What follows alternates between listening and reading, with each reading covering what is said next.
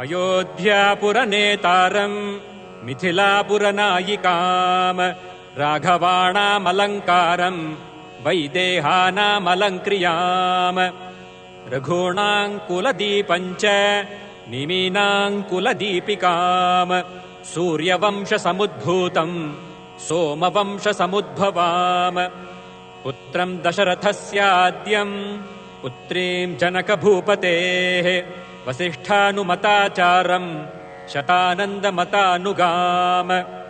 कौसल्या गर्भसम्भूतम् वेदि गर्भोदिताम् स्वयम्। पुण्डरीकविशालाक्षम् स्फुरतिन्दीवरेक्षणाम्। चन्द्रकान्ताननाम् भोजम् चन्द्रबिम्बोपमाननाम।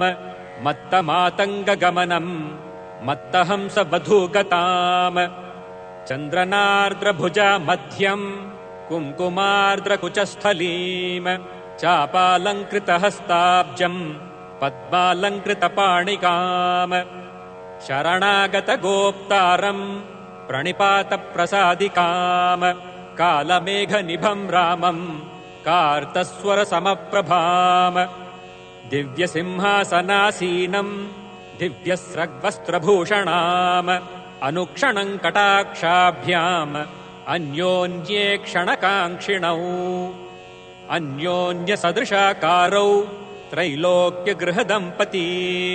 इमौ युवाम् प्रणम्याहम् भजाम् यद्य कृतार्थताम् अनेन स्तौति यस्तुत्यम् रामम् सीताम् च भक्तितः।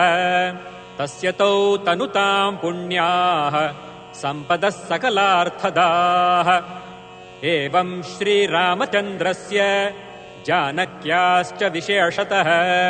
कृतम् हनुमता पुण्यम् स्तोत्रम् सद्यो विमुक्तिदम्। यः पठेत् प्रातरुत्थाय सर्वान् कामानवाप्नुयात्